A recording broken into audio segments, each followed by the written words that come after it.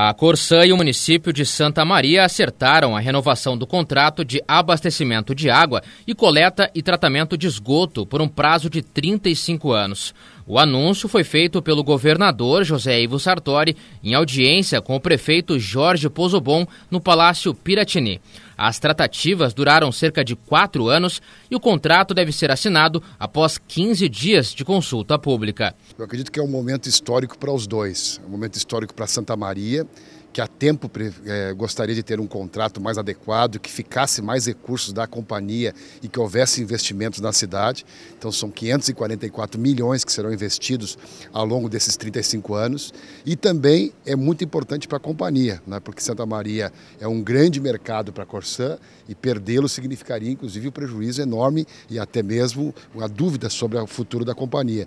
Então a renovação ajuda os dois, mantém um contrato importante para a Corsã e também faz um contrato favorável, porque vai ficar recursos na cidade, são 12 milhões que serão é, um fundo compartilhado, teremos outros recursos para pavimentação, outros recursos para fazer uma avenida, inclusive na cidade, então significa algo muito importante para os dois lados. Então é um dia histórico, fundamental e que nós temos só que celebrar. Entre os pontos acertados estão investimentos na ordem de 544 milhões de reais, a criação de um fundo municipal de gestão compartilhada, além da participação do município em resultados da Corsã.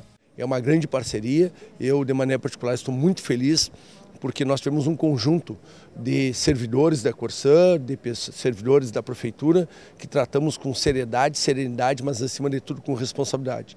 Temos um papel fundamental da PGE. Eu quero agradecer sim o Pressa, nosso presidente Corsã, Cabelon, Finamor, Jean, toda essa turma que se envolveu. A expectativa é de chegar a 100% de distribuição de água tratada e da coleta e do tratamento de esgoto no município em 25 anos. Isso é investir em saneamento, é investir em qualidade de vida, é investir na saúde e é investir nas pessoas poderem com suas famílias viverem melhor. Prefeito, Orsan, a Secretaria, o Estado, Estado, vamos todos continuar fazendo o que precisa ser feito. Sim. E sem medo.